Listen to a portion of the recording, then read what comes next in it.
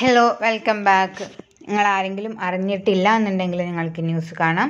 കാരണം കാറ്ററ്റ് ഫെബ്രുവരി രണ്ടായിരത്തി ഇരുപത്തി രണ്ടിലെ നോട്ടിഫിക്കേഷൻ വന്നിട്ടുള്ള കാറ്ററ്റ് എക്സാമിന്റെ അപേക്ഷിക്കാനുള്ള തീയതി നീട്ടിയതായിട്ടുള്ളതാണ് ഈ ന്യൂസ് ഫെബ്രുവരി പത്തൊമ്പത് വരെയാണ് ഡേറ്റ് നീട്ടിയിട്ടുള്ളത്.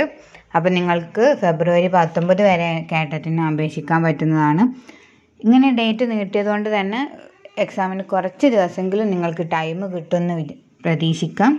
പക്ഷെ അത് ലാഗ് അടിപ്പിക്കാൻ വേണ്ടിയിട്ടല്ല നിങ്ങളുടെ സ്ലോ ആക്കാൻ വേണ്ടിയിട്ടല്ല. നിങ്ങൾക്ക് കുറച്ചുകൂടി സമയം കിട്ടും കുറച്ചും കൂടെ പഠിക്കാൻ പറ്റും കുറച്ചും കൂടെ വായിക്കാനൊക്കെ പറ്റും.